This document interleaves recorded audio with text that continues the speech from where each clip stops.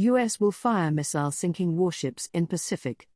The United States Marine Corps will fire the Naval Strike Missile or NSM, an anti ship missile, on Sunday as a demonstration of strength. This warship sinking missile is planned to be a weapon for the Marine Corps artillery unit in the future for war. NSM's planned fire in the Pacific is part of the large scale Exercise 2021 War Games. The Deputy Commander of the Joint Forces Maritime Component, Brigadier General John F. Kelleher, told the Marine Corps Times in a telephone interview Friday. It will be a demonstration of strength and kinetic, from multiple platforms, said Kelleher. The Marine Corps will fire one of these naval strike missiles in the Pacific. There will be a casualty hull out there, something the Navy has raised, he said.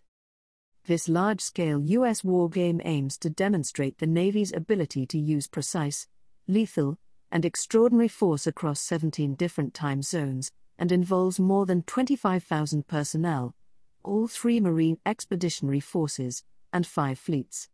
This is one of the largest exercises of this scale by the United States since before World War II, said Major Jim Stenger, a Marine Corps spokesman. On Sunday, Kelleher said, Missile fire by Marine Corps forces will be launched from the ground in coordination with the Navy and Air Force, testing the ability of the three services to work together. The Marine Corps plans for a future in which small units equipped with missiles capable of sinking ships are scattered across the battlefield, opening up sea lanes for the U.S. Navy and ideally keeping enemy ships pinned in their home ports. Whether it's in the Atlantic or the Pacific, it's all about the Marine Corps being able to provide that anti area denial sea control, Kelleher said. To Lieutenant General Eric Smith, current commander of the Marine Corps Combat Development Command and deputy commander for Combat Development and Integration. This is a simple mathematical equation. Enemy peers must respect the 1.7 million US dollars naval strike missile that can damage nearly 2 billion US dollars worth of warships, and you can't find it, Smith said at the Sea Air Space Conference.